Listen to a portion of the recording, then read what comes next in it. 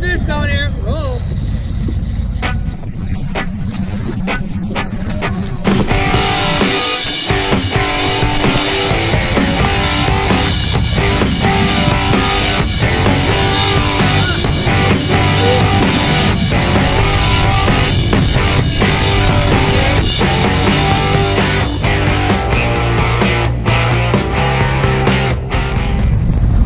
Well, today on Hunter Fish, on Lake Michigan, Southern Lake Michigan. I'm salmon fishing. Now, hey, I got some experience in Lake Michigan. I like to die on the Great Lakes, or almost die, but I, I have no idea I'm doing salmon fishing. But I couldn't think of better company to be on here. So, right here, Captain Todd Brill of Gold Coast Fishing Company Charter Service out of St. Joe, Michigan. has got me out here. Over to his left is the owner of Clear H2O Tackle, Darren Shapp, who, while doesn't guide out here, is a Lake Michigan junkie. And hiding in the background is Troy Haha, who's a former Lake Michigan guide out here, salmon fishing. So I'm in great shape. Now, Todd, real quick, Todd's captain here, Todd- Todd Brill. And you're seeing his information on the bottom of the screen right now, his website, and you can find more information about his charter service in the description below. But Todd, all right, so it is April, uh, I'm not very intelligent, 25th, right? 26, something like uh, that, 2019. The weather lately, like yesterday, It's been very back and forth, very Yeah. back and forth, and changing the mission of day by day. by day. talk about credentials. He's hired out the guide about 300 times a year. But yesterday would not have been one of those days because it was just wicked out here. Yeah, spot. Well, if you're talking to a novice, can't get you a better novice. I don't know anything. So when you go out here to try to find more fish, I don't know what that means. I'm a bass fisherman. I start looking for structure. We're in 50, 48 foot of water right now. What are you looking for? You know, Lake, the southern basin of Lake Michigan is just a large sandy floor. Uh, there's not a lot of structure out here. So throughout the summer, you're primarily following cold water and bait fish. This is a special time of the year, the only time of the year that we're actually looking for warm water. That's, that's we've actually I've tried to get the this introduction going already, but no boom fish, boom fish, and so forth. So it's been off to a great start. And no, he's taking out of St. Joe, Michigan. We talk about man that's working. I'm kind of seeing like three different states today. So uh, anyway, hold on to your shoes. 'cause Here we come. Enjoy this show. Like a mile. I don't know if this ain't cold. There he is. Jump, jump. Answer that phone, Darren. You want to reel this fish here? No, no, we're gonna let you do it. owner of Clearwater H Clear H2O Tackle, Darren How it's done at Lake Michigan. He's reeling in something big. It's like a football field length back there, so we're gonna watch him sweat, get tired, and then you can hand the rod off to somebody else. Lay down.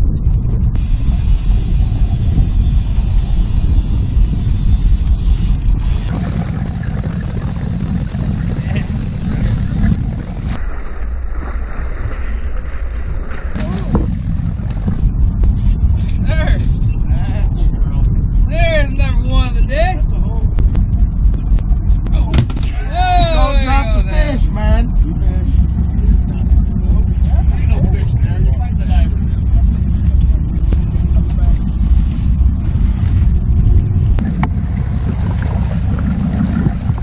Oh yeah. Bang, bang, bang. Two for two. Not a few showing up on the screen here, guys. What is it? What are we looking at here? That's the juice, isn't it? That would be fish. Yeah. You think those coho down there? Uh, hard to say. Some of those larger ones, I mean, you're looking more like a king in there. A lot of our cohos, but some of the smaller stuff you're seeing up towards the top. A lot of our cohos are not going to show up because they are so surface oriented right now. They're going to be in the top five feet of the water is where most of our lures are at. Um, so they sort of scatter when the boat comes through and come back in behind. So a lot of times this time of year when you're fishing coho, you're not marking a lot. See if you remember how. I know it's not a center Hey, pin. There's, there's a drag there. There's no. You don't have to palm it. One captain netting for the other captain. Now you know it's we're in good hands here.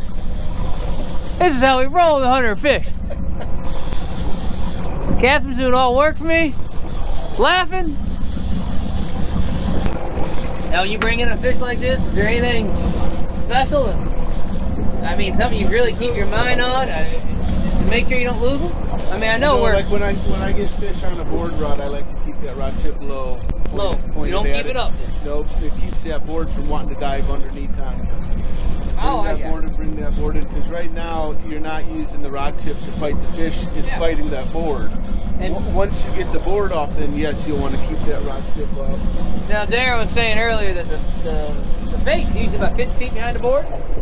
Yeah, you can run when I'm fishing for coho. I'm running my bait anywhere from 25 to 75 feet behind the board. And the function of a board is what? Just to spread, to spread lines out. We can get more lines out without getting them tangled up, and so you're covering a bigger path when you're coming through the water. Gotcha. Uh, I think it's a pretty nice. Fish. Oh,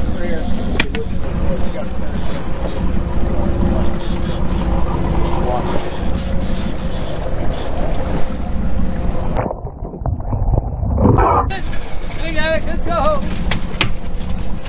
Yep. Yeah. There you go. I smell like them we now. get a fish picture Woo! here. That might be a goodie. Oh, You gotta put that other one back on. they're going to give me this giant fish that's going to wear me out. Yeah, yeah, yeah. No, I'm with you. I'm, I'm, we'll wait till this. That was this is over. 25. Yeah, I'm with. How far back was it? 25. That's a thought. Yeah. Yeah. I, that, that other one was 23. Thought But I- then this one. Hey Todd, make sure that thing tripped. I got the. You've got it. I got the helm, yeah. They're going to got give me that. this giant fish that's going to wear me out. Get it. They're going to give me an small. He is stronger than a largemouth bass. Yeah. Watch this rod there and watch this. Hey, come on, get you a goodie. What would I tell you? I need to step Yes, yes. The hunter of fish. There's the key. Is it a king? There's the key. Is it a king? Yeah, you got the king. That's Heck why. yeah. Walk backwards. Walk backwards. Pull them up, Troy. Oop. There you go. Pull it backwards. We got it! First king 2018 right there. That's it, baby. Pooping. That novice fisherman sees a whole bunch of rod and reels. There's 12 right now because we're allowed three apiece in state law. Yeah. To you, it makes sense. Me, it looks like a bunch of rod and reels. But you have a system here. Can you explain it? Yeah, I mean, fishing on Lake Michigan or fishing on the Great Lakes is a lot different than fishing on a, a lot of our inland lakes. Um, as far as we're trying to mimic a school of bait fish, so we have a lot of different rods out. And as far as mimicking a school of bait fish, you got to think of it's longer one individual. So Clear H2O tackles up. Darren Shep bringing it in, baby. We are gonna get her done. Oh, I'll screw up the nut job for you. Don't you worry. Okay. We go on your left or right? I'm turning out. Yeah, just well, just hit the clip. It's gonna take a moment. Eh? Just hit the clip. Let it slide. Yeah, I'm just gonna. You want to extend that net out some, or you got it? Oh, you got it. It's like net a smallmouth or something. Hey, he's not happy with you. Not real thrilled right now. Not real thrilled right now. Yeah, got him. Over the rail and in the pail. Oh yeah, Darren. Now this is your favorite color. Oh yeah, that's the Out only here. one you need. Why? The old They red don't- squiggle thin fin, because I think uh, Been catching coho for it's the color. They see it right with the UV, Huh? the way that their eyes work, and the rattles don't hurt. Been catching coho for forever, eh, Cap Todd? since they were in the lake. Outstanding. Oh yeah, now we're getting them. Hey! Double pass. All right. I want to know what this Keep 'em thing's coming. called. Get another one. Get another one. This is a fly. Call the fly. That is a Dodger. Dodger The fly. double O orange Dodger. That's the With a second peanut best coho fly. bait after the orange bait we were Yep. talking about earlier. This swings around.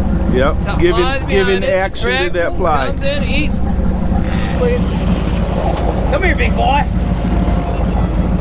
You know, I know why he gave this to me. What? This is a mile and a half back. No, it's not Yeah. These are nothing. Thing I've been working out. that. July. What made you think this was a big one? The way that board rocked back about 10 feet when it bit. we both saw it at the same looked at it, I time. like, oh.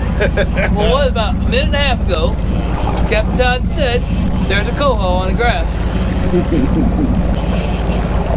now it's probably a minute and a half, or still for our boat to get right on top of it. Yeah, yeah. Kind of prophetic there, Captain Todd. Right. Lift We up is reel. Lift up and reel. Now reel. Don't let that board touch the water. You swing it over to bring the rats up over to Darren, and Darren will. You stay there, just get up there. You'll keep reeling. Yeah, it's just my arm's starting to get a little tired. Oh, what do you know? It's on that same bait again. Yes! Bring him back. Hey, we got He tried to boat flip it. I saw it. I saw it happen. I saw it happen. Got. Look here, beautiful. Nice. That's There, and there it is. Ooh, Tasty. that's your red bait again. What do you call this thing? That is a thin fish. Thin fish. All right.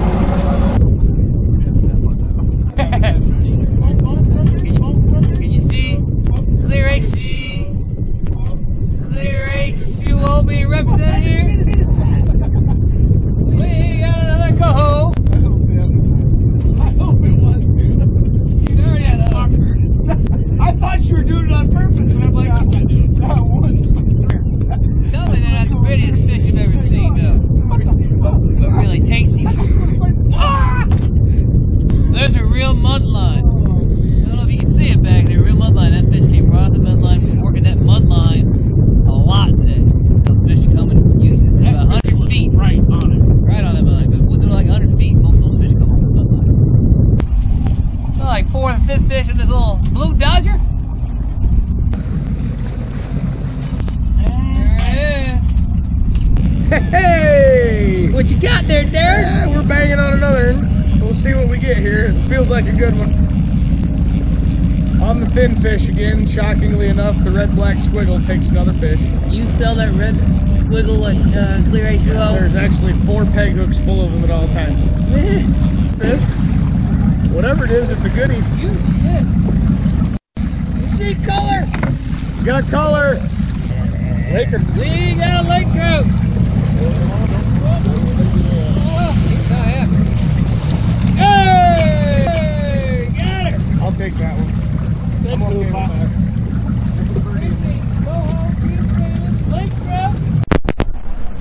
I'm here at Captain Todd Brill of Gold Coast Fishing Company. Todd, my gosh, we caught lake trout, big lake trout, lots of coho, even some kings. I don't, I don't think I wasn't expecting kings. I wasn't expecting lake trout, but we got an assortment of fish. Uh, I thought it was awesome. Hunter fish, we hunted like crazy. These guys switching rods, baits, all throughout. Uh, uh, but curious, here, what is your assessment of, of today? Yeah, I was very pleased with today. I mean, after yesterday, we had a small craft advisory, a lot of wind, a lot of waves. It really had this water, as you can see, in the inside, dirty conditions. Um, so fish were scattered. Yeah, we there was really- we debris covered- floating We covered yeah. a lot of water today, and I think our ticket was just working in and out of those different mud lines, and a lot of that being the temperature difference that we were, you know, finding those fish holding at. So I was surprised. The water temperature is uh, over 50 degrees. Mm-hmm. I mean, uh, inland lakes here, uh, April 25th, and it is. Yeah. It's just that temperature. But you explained. Yeah, I mean, what we were seeing was a fluctuation of that warm river, river water coming out of the pier heads. So we were zigzagging in and out of that is how we were keeping towards it. This is the only time of year you're really searching for that warm water. And you were saying you just go down five foot deep, and that water temperature is Yep. way different. Yep. And you got you can see his information in the description. So thank you very much, sir. Hey, Appreciate it. If you to hit that subscribe and click notifications button yet, do so right now. You're not going to regret it. Until next time, we'll see you on the water. we can right. Beauty is I can stop start off. So- Try to watch this.